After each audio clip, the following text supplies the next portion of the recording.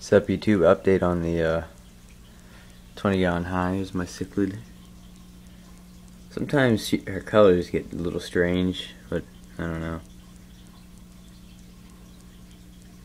But yeah. Um, for some reason I've been having a strange melting problem in this tank. Usually it's all green, but all of a sudden these um ferns started to melt like crazy. I even got one in the back. Now it's starting to melt away too. And uh Amazon sword. That one, it's not that bad. I only have that one leaf, and this this leaf is melting. But I I don't know what's the matter. Uh, my leaves are melting away. It seems like on these plants. So that one, I guess it's okay. It's got those two leaves with a little bit on it, but this one is really melting. I don't know why. I don't think anything's wrong with my water. I don't test it or anything. See how bad that looks?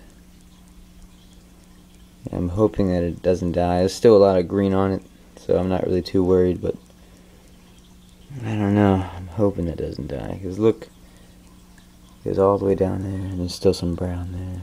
I don't know. Can someone tell me why it's melting?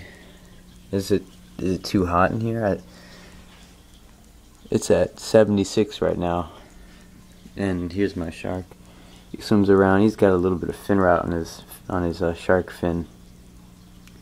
I think he does. I don't think it's nipping. You can see it right there.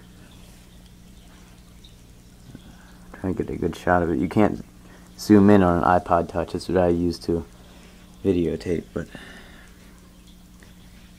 my fish are doing good. There's my little cichlid. I don't think she's gonna grow too much more, which is fine with me.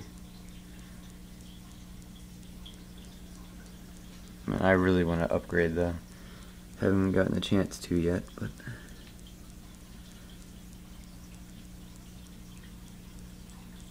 oh, there's my pleco. It does nothing.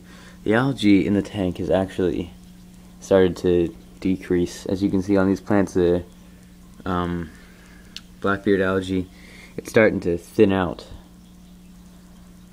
So that's a good sign. But these are really what's my problems. I like the way my tank looks with those plants in the corners and I want to thicken up the back so I put one in there. It's my cichlid. So yeah. My shark kind of does that a lot. Sometimes he swims around sometimes he's lazy. I might take him back. Not sure yet but yeah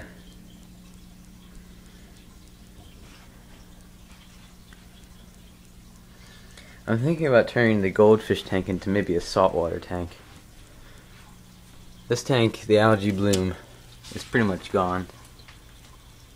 I like my goldfish, but I mean, I've never had salt water, so it'd be cool to just have like maybe uh, a, a sea anemone. I'm gonna get a new filter definitely for a saltwater tank. This filter's terrible, as you can see, but it'd be cool to have like maybe some fake coral and maybe like a sea anemone and maybe one uh, one um, clownfish would be cool.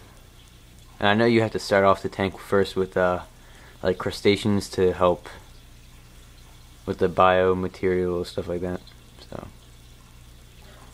I like my goldfish, but I've never had saltwater fish before. So and what I'd probably end up doing with these guys is let them go in a creek, which is something I don't really want to do. That because I would like to keep them, but I do want saltwater.